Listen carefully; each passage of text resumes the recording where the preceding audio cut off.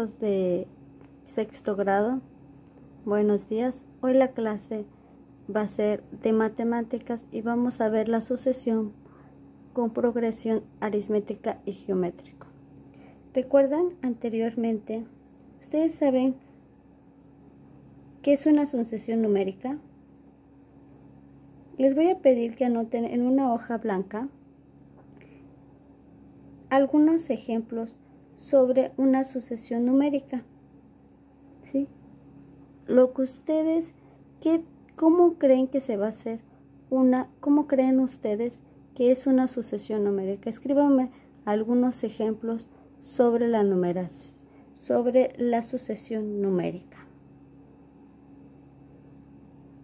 Posteriormente, en su, en su hoja blanca, van a pasar esta definición donde dice sucesión con progresión aritmética y geométrica, donde dice la sucesión numérica con progresión aritmética o geométrica obedecen a un patrón, por ejemplo, una sucesión de números con progresión aritmética se suma o resta de manera constante una cantidad entre término y término.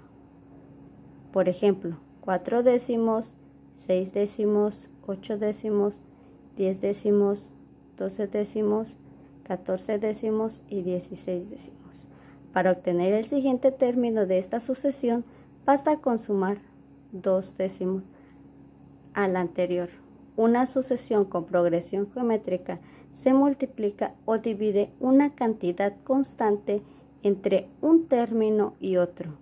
Por ejemplo, 2.5, 7.5, 22.5, 67.5, 202.5 y 607.5.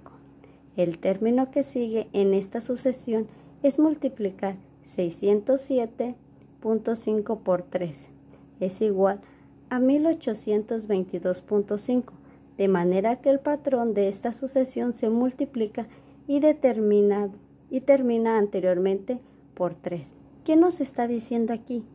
Que se suma o se resta dependiendo el numerador y el denominador pasa igual al siguiente término. ¿sí? Entonces, el único que va a cambiar es el numerador.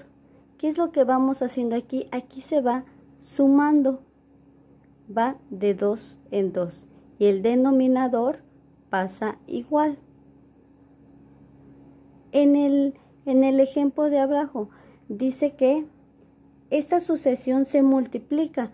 ¿Por qué se multiplica? Vamos a buscar un número que nos dé que, que se multiplique.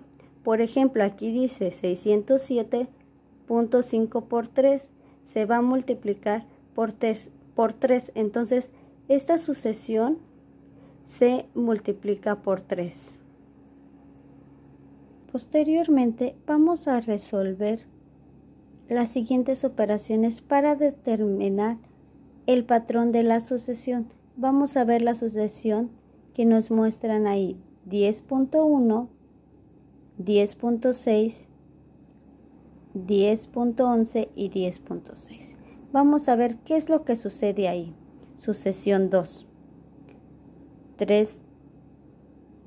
Y vamos a ver qué es lo que sucede en la sucesión 2 y en la sucesión 3. Esto lo vamos a hacer en una hoja blanca con su nombre completo y la fecha. Esto es todo de la clase de matemáticas.